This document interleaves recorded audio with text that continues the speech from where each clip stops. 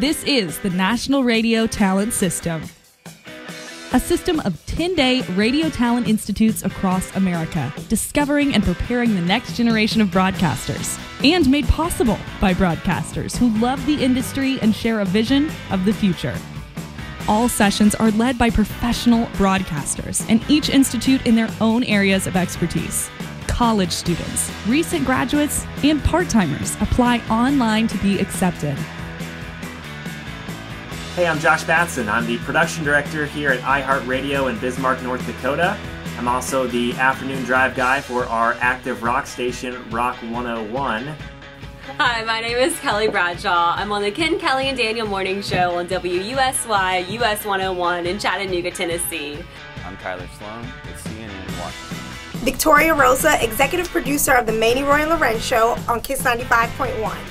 I'm now the full time producer for the Doc, Jeff, and Heather in the Morning Show for Sports Radio WNML in Knoxville, Tennessee, the flagship station for University of Tennessee sports. I'm also the play by play announcer for the Knoxville Ice Bears of the Southern Professional Hockey League. Hey there, I'm Joel Gilly, Operations Director with Curtis Media. Hey, my name is Cameron Combs, and I do afternoon drives here at 105.1 The Bull, KOMG in Springfield, Missouri.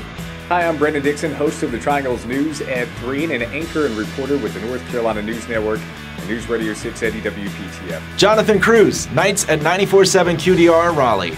Hi, I'm John Wood, afternoon host and music director for 106.9 The Light WMIT in Asheville, North Carolina. I'm from Bradenton, Florida at Pirates Spring Training. Ashley Wilson with today's country, the big 95.7 WKML, and I'm fresh back from Vegas and the 51st annual ACM Awards. I had a great time catching up with some of country music's biggest stars. Radio moved into this 21st century embracing exciting new technology and opportunity. But even with the technology, ultimately, it's the people that make the difference all the executives, all the general managers, anyone who's coming in is looking at each and every student sitting in that classroom thinking, what could that person do for my station? The Radio Talent Institute was a once in a lifetime opportunity that I got to be a part of, and it's actually where I decided I wanted to do morning drive. I love the National Radio Talent. It connects young talent with people in the industry.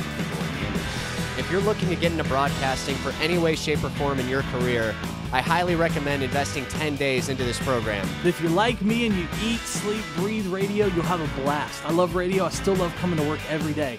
Don't just think about it, actually participate in it. This 10 days could change your life. It could be the difference in you having a job and having a career that you love and desire to do. For students looking to get into this industry, it really can be key to not only networking with people who've not only gone through it, but know where the next steps are going to be. The National Radio Talent Institute, with its notoriety and the experience that I gained within those 10 days, is literally the reason that I have a job right now. I still speak to people that I met back in 2011, and they have helped me tremendously in my professional broadcasting career.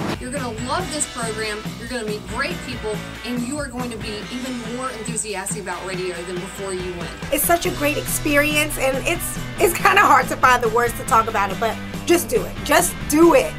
These young people are hired today to be the leaders of our industry tomorrow.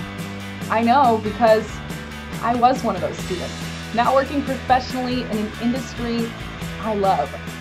This is the National Radio Talent System.